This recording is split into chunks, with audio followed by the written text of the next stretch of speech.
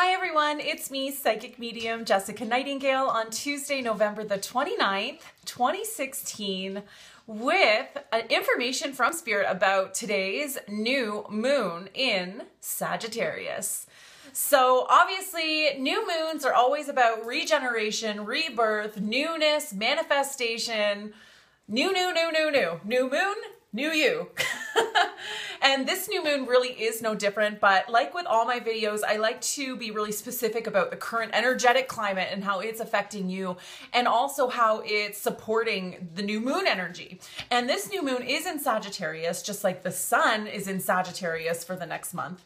So we're getting a double whammy of good old Sagittarius, which really is a fantastic energy. Sagittarius is a fiery sign, so a lot of us are feeling fired up, feeling like we want to get going on projects, we want to get going on things.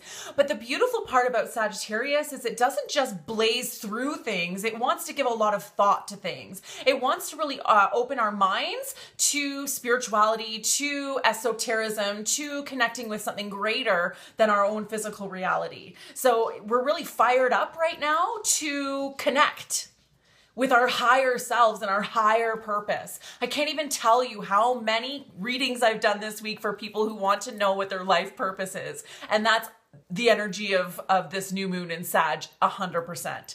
So right now, today and for the next few days while the moon's energy is affecting us, we're going to be really taking stock of how we uh, want to relate to the world in terms of expressing ourselves spiritually. So how can we incorporate our spirituality and our higher truth and our higher selves and our higher purpose into our everyday reality? And there's also a measure of focus on our relationships right now as well where things are being illuminated in our relationships that, that aren't quite fitting or in, in line with our higher vision of ourselves and our lives and our spirituality and who we actually are.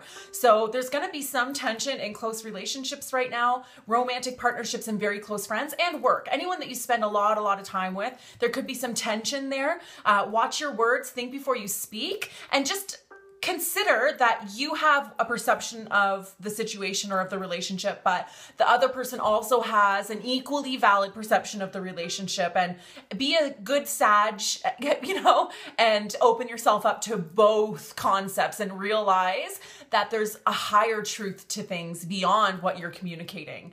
But all in all, you know, the new moon is about newness. So take some time today to make a list of things that you want to manifest in the next four weeks or, you know, build a vision board or meditate about it. You don't have to make a list, but spend some focused energy or time today to really zone in on who you are on a spiritual level and how you want to allow that to overflow into your physical reality or into your mundane or daily life.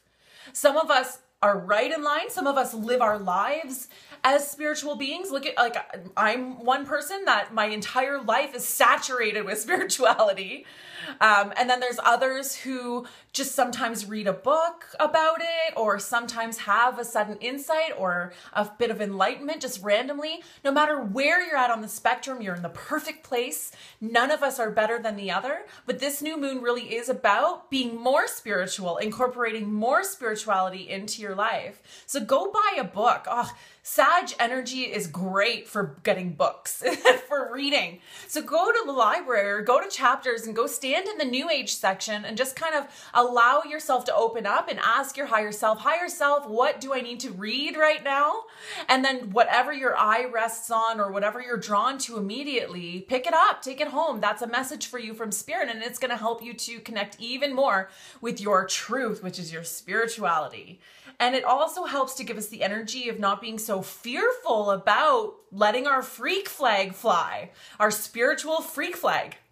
I'm going to say it one more time freak flag fly because three times and I said it really fast, so I'm awesome. but it really, you know, this energy really does help us to have courage to be able to speak our truth and to incorporate our crazy, freaky spirituality into our daily mundane life without so much fear of judgment. So use this energy to really blow up your spiritual self and really, you know, let that freak flag fly. But just be mindful that you're not trampling on other people or being ignorant to other people's views, right? While you're doing this. And then you really will use this energy to the greatest extent. Good luck, everybody. Enjoy this beautiful energy. And if you're feeling the opposite, if you're feeling repressed, if you're feeling overwhelmed, if you're feeling anxious, that's okay too you know, not everyone is going to experience this new moon in Sagittarius energy the same way. Not everyone's going to feel positive about it. Some people are going to feel really overwhelmed by it. That's okay. You know, the other day I, I released a video about using the kind of discontent or the irritability or that feeling of anxiety. It's literally a feeling of anxiety in your chest. Use that and channel it into some sort of creative project so that you're releasing that energy and not holding on to it and, and causing it to be a block in future endeavors. But no matter where you are today and how you're feeling today, you have to know that whether you're consciously aware of the good changes coming and happening or whether you're not consciously aware of it, they are happening. Shifts are happening constantly, but these ones lately are really super charged uh, and all bringing us to a higher understanding of ourselves and non duality, which means that we're all connected. So, good luck with that. I'll talk to you soon. Many blessings. And thank you so much for not only watching all of my videos, but for sharing them as well. I really do appreciate it. And I know that Spirit appreciates it too. Take care, everyone.